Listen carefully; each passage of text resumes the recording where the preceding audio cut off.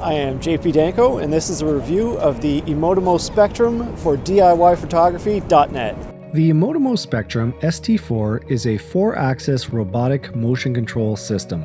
Starting with just the Spectrum, you have two axis robotic motion control with pan and tilt. Adding a slider adds a third axis, linear motion. Then add the eMotimo Focus FZ, and you've got your fourth axis, which can be used for robotic focus, zoom, or aperture control on your lens. Instead of a slider, you could add a second FZ unit for both focus and zoom, or focus and aperture control. The Focus FZ uses a standard 0.8 pitch gearing, but you'll also need gearing on your lens. If you're using a standard photography lens, you can use a proprietary add-on gear, or if you're using a cine lens, they've already got the gears built in. So what exactly can you do with 4-axis robotic motion control? Well, think about sophisticated time-lapse sequences with multiple silky smooth movements and even zoom or focus pulling during a time-lapse. Think about live action video with precise movement and focus control. For live action video, the Spectrum has a number of presets for live motion tracking. The unit moves as you control it in real time with the Sony PlayStation controller. There are modes for fast, normal, slow, and quiet motion. If you want to film a precise live action video movement, you can program all four axes of the Spectrum with up to five keyframes. This opens up a ton of creative freedom and allows for some very complex shots that would otherwise be impossible. And the best part is that the movements are totally repeatable.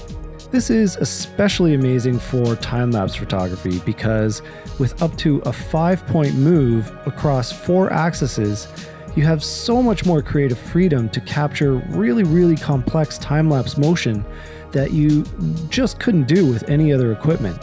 Another really nice feature of the Spectrum is Gigapan mode, which allows you to capture very large, multiple image panoramas, all with robotic motion control. I spent several mornings at Niagara Falls working with the Spectrum and Focus FZ, filming a series of live action and time lapse video using both a Nikon DSLR and Sony mirrorless. One thing that I really noticed with the Spectrum, especially when you're trying to set up a four axis movement with multiple keyframes, is that there's a lot going on and you have to be very deliberate with your shots. The Spectrum is not for run and gun situations. It's much more suited for deliberate, pre planned shots where control and precision are more important than setup speed. With a DSLR, I found it a little tricky to visually confirm focus while using the Focus FZ, especially when I was using a heavy neutral density filter and I could barely make out the scene. To get the most out of the Spectrum and the Focus FZ, I think that you really have to use a camera that has focus peaking or an external monitor with focus peaking. Switching over to a Sony mirrorless, it was night and day. I could see exactly where the plane of focus was and make much more accurate focus refinements once I could see those with the focus peaking. In my opinion, the eMotimo Spectrum ST4 is the very best live action video and time lapse robotic motion control system that there is on the market. There's nothing else out there that will give you this many options for robotic motion control. It's quick and accurate in live mode and surprisingly easy to program elaborate multi-point movements. If you're an experienced filmmaker or time-lapse photographer, it doesn't get any better than this. If you like some more cool movies, you can check out this one and this one, and you can subscribe to us down here.